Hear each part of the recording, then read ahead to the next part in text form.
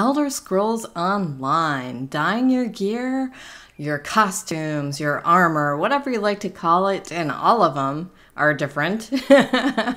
Stick with me because I'm going to give you some information on how to get the dyes and why achievements are so important. This is Mystic with Mystic Shepherd Gaming. Hello, my wolf pack, and thank you all for watching. Okay, so I apologize first and foremost about uh, what color Elder Scrolls Online shows up in my videos as like how bright how weird. I'm working on it and it'll be two three weeks and i'm pretty sure i will have it tweaked well enough. So here's the dye station the outfit station whatever you'd like to call it. It says a clear and color uh, copy color dye menus. Um, erase dyes from specific slots. When you unlock a dye the icon uh, that is a lock, you know, the lock icon will be removed and you'll be able to use it. All right, so I'm showing you here, this is her actual gear, my character's gear that she is wearing. I have a costume on over that, so you don't ever see the gear. And that's what costumes do, in case you were curious. Now I'm showing you, here you can see is how I should put that. Here you can see Dolmen Deep Blue, unlocked by the Anchor um, achievement. Basically, that was like, you know, doing so many dolmens um, the Soul Shriven and Coldharbour achievement. Basically, that's making it to Coldharbour. Um, and these I still have, like, I've been playing this on and off, probably more off than on. I don't know. Some people would say more off than on, my friends, and I have other friends that would be like, "No, you're in, you're in here and there," but I don't get to see my friends that much anymore. All right. Also, you know, Coldharbour Ash Black. I mean, you can look, and these are the ones that are unlocked, and the ones that are locked, like Void Pitch. I saw that. I'm like, oh my gosh, I want that black. So I'm going to look that up, and I'm going to see how I unlock that. And how do you look that up? There's several different ways. You can look it up like through your, um, you know, your journal and achievements, or you can just look it up online.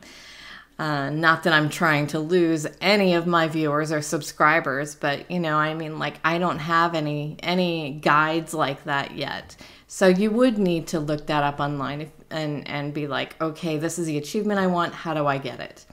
And here's costumes and hats.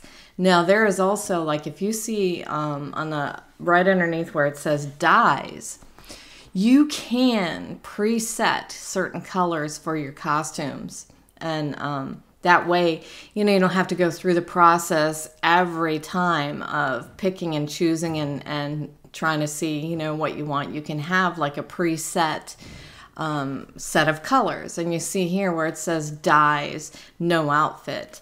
Um, you can actually have like certain outfits, so many outfits um, with different dyes, and just, you know, put that outfit on and it's already dyed basically.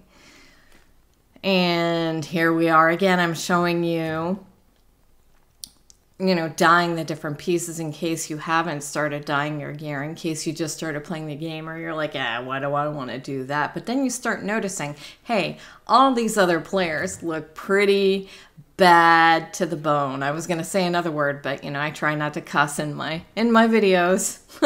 so, and here I'm uh, you can see the different um, costumes that I have acquired, most of I think I'm, you know, I don't even think I've purchased any of these. I think these are all just from playing the game. Through playing the game is how I should put this, and also through um, you know the the rare occasions where they give you those those crates that you can open up, you know, the ones that they sell. They have maybe once a year, sometimes twice a year, and, and, don't quote me on that because now that another company has bought them, we'll see how often this happens. But, you know, they were giving away the crown crates. Um, you know, for so many days of logging in, you would get like, um, you know, three crates or something like that. So some of this, these costumes I have gotten from that. Geez, that was a long explanation on that. That was stupid. I apologize, but maybe it wasn't so stupid. Um, maybe it'll give you hope that, you know, once a year, if you're still playing, you'll actually get some free crown crates, right? You can get mounts and everything else from it. And most of these, though, I'm pretty sure are from um, achievements and going through the main storyline. Now, this specific character is my first character I've created. She's my crafter, she's my everything, and she's the one who I use to go after these achievements. Because if you try and do it with multiple characters, well, you're going to spread yourself thin. Why not just compress it all into one character?